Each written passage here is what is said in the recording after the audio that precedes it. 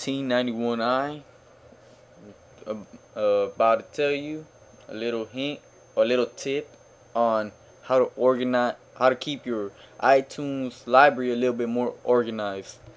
Like putting movies on movies files TV shows on TV show files and folders I mean and so on you know.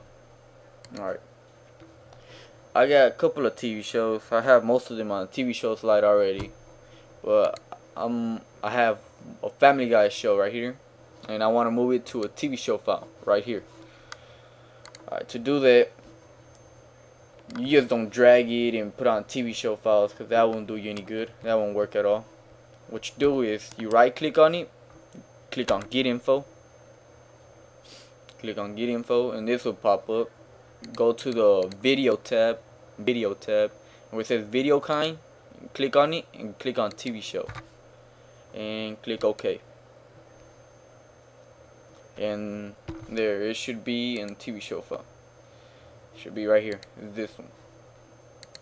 Alright now for uh for uh music videos. It's pretty much the same thing. I got a Nickelback vi music video Nickelback Rockstar you, do the same thing right click get info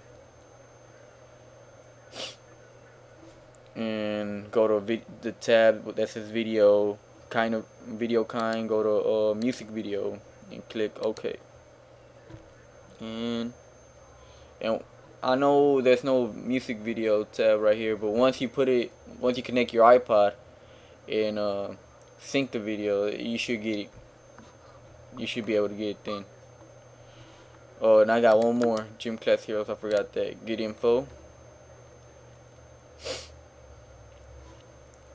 Music video. And okay.